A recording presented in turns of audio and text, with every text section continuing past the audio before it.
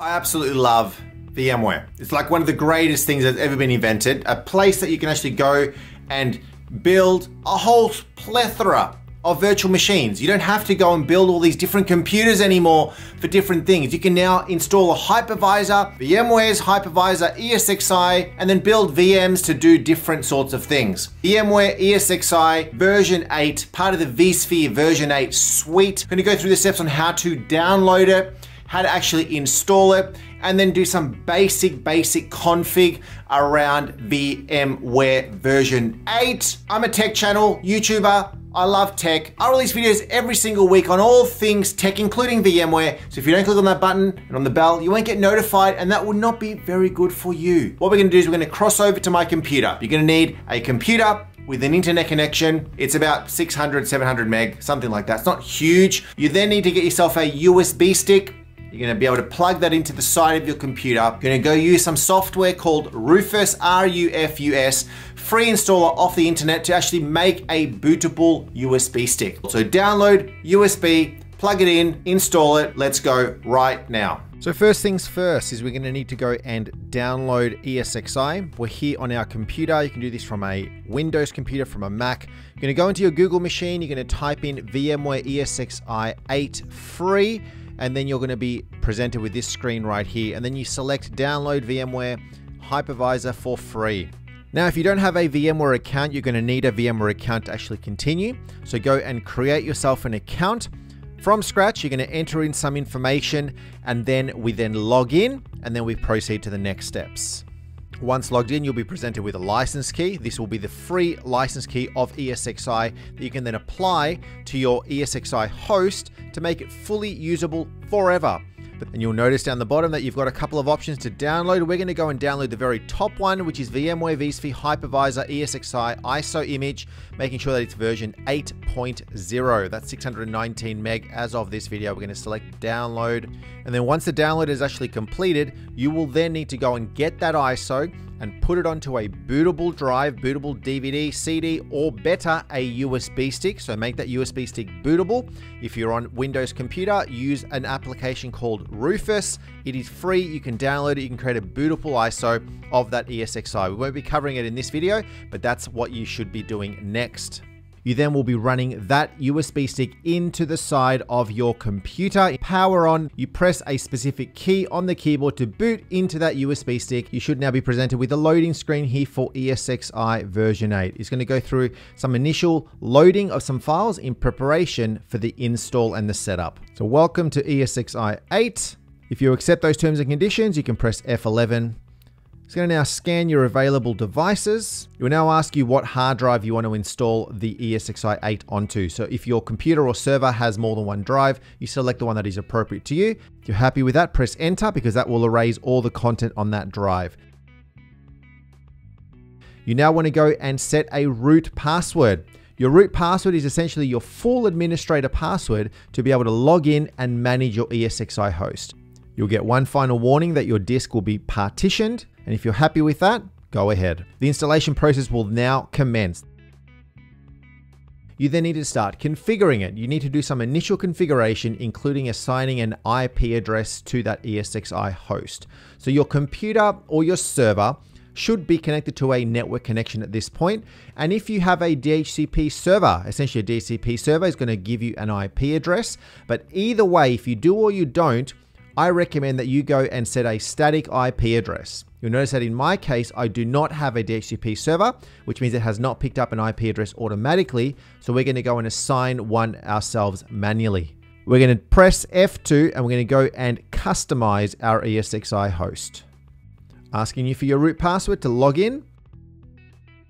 You're then presented with the space where we can go and configure and customize our ESXi host. You can reset the password if you so need to. It's a nice feature to have. Let's go into configure management network. Within here, you've got a few different options. You've got network adapters. You can see exactly how many network adapters your computer or server has. Your VLAN, if you want to set a VLAN on your specific NICs, this is really helpful. And the other thing I will note is that all of this you can change later on once you've logged in via a browser. You don't have to do this right now. The section we're going to now assign an IP address is the IPv4 area. We're going to go into there and we're actually going to go and set ourselves a static IP. You'll see that the dynamic is marked. So we're going to go and set a static IP and then give a new IP address and subnet and default gateway IP address into there so that you know how to access your ESXi host from your web browser. Completely optional to you, but IP version 6, if you're not going to use it, why don't you turn it off? If you don't need it, why have it switched on? DNS configuration. Do you want to set some DNS IPs into here? If you have a DNS server, it's good to actually put these IP addresses into there. Once that is done, it may or may not ask you to reset your network configuration or your ESXi host. Now I've got a static IP that you can see right there. 105. We are going to change that shortly to 104, but we can now go into there. We're going to go back into F2, log in with our credentials and see what other settings we can actually change.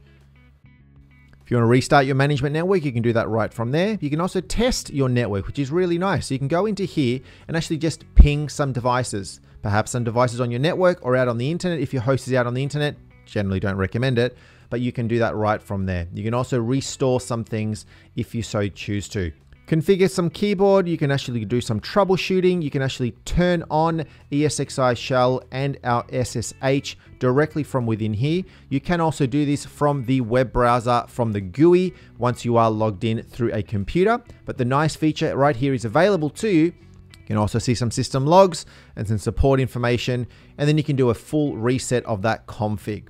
From that perspective, the ESXi host is now ready to go.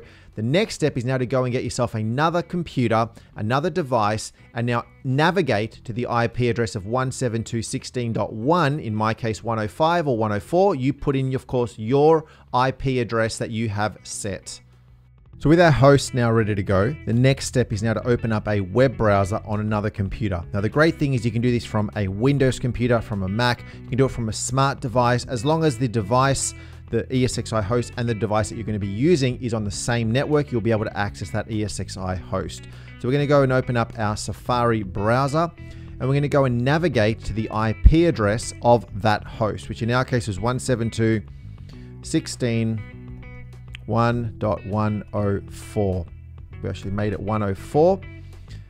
You may get a warning such as this, a private message. I'm doing this on a Mac, but yours may look some slightly different if you're doing this on a Google Chrome or Firefox on a Windows computer, but you're just going to accept that and you're going to go visit the website. If you do want that to go away, you need to look into uh, getting a certificate for your ESXi host. Otherwise, you can just ignore it, especially if it's within an internal network.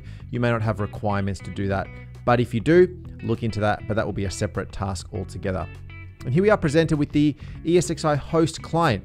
If you're familiar with previous versions of VMware, such as version 6, version 7, version 8 does look slightly different. They've had a bit of a facelift and actually looks quite cool. So what we're going to do is we're going to log in with our root credentials. If you remember, we set that root password, very, very long password, and that's what we're going to put into here.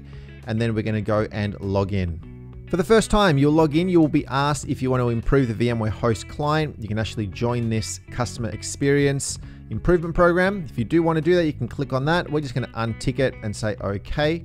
And here we are presented with our ESXi host all up and running and it looks absolutely brilliant. Signing a license to a host is quite easy. You're going to go into the manage tab on the very far left under navigator and then licensing. You'll see that there is currently no license there. We're going to say assign license and this is where you paste in that key and then you can fully use ESXi for free. Done, finished. Why don't you let me know how you went down below in the comments. Did it work or not? Remember to subscribe, click on the button on the bell. Really appreciate it. Stay tuned for the next video where we talk about all things tech. We will see you next time.